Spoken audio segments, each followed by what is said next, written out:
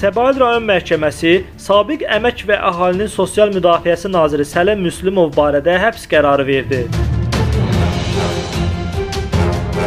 Eks-nazir barəsində 4 aylıq həbs qəti imkan tədbiri seçilib.